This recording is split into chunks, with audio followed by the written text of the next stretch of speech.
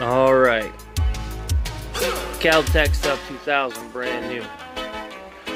Found my old knife in the dresser. Pretty long knife. I just got done with this.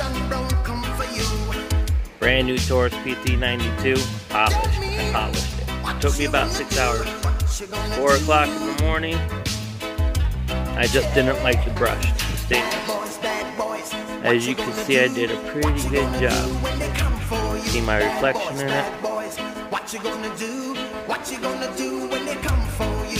When you were eight and you had bad traits, you go to school and learn the golden rule. So why are you 2000 grit sandpaper, then to three, and back down to two. Bad boys, bad boys. What you gonna do? What you gonna do when they come for you? Bad boys. Guns are empty. What you gonna do? What you gonna do when they come for you?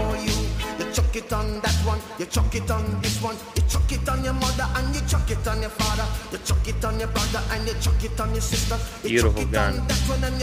I love the Kel-Tec Sub 2000. I haven't shot either of these. These are both brand new. Got them up there Chase Sporting Goods in Clare, Michigan. I decided to treat myself. I drive semi. So decide to come home, treat myself a little bit, just bought the a corgi.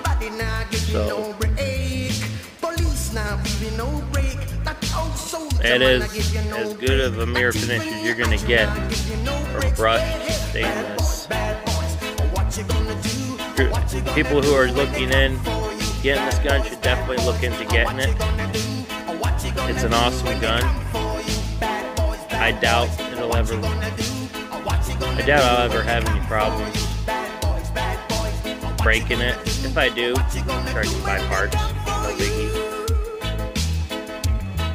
Scratches aren't very noticeable. There aren't really any. I polished it with that aluminum mothers or whatever that is at Walmart in that white can. Took me about six hours. I think the bottom frame is alloy and the entire sliding barrel is stainless. I bought this, I think 475 out the door. I got my Kel-Tec, I think, for 380 out the door. Because it's black, it was a little cheaper. I love that it folds up, that's so cool. I haven't put a bullet through either of these guns yet. But uh, yeah, it is possible to make this gun look pretty sweet.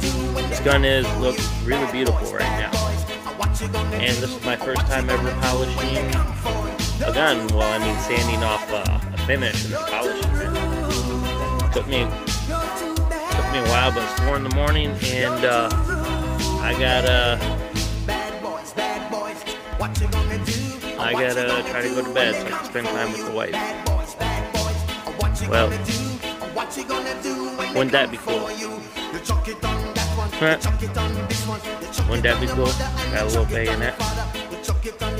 But, uh, alright. Catch you guys later.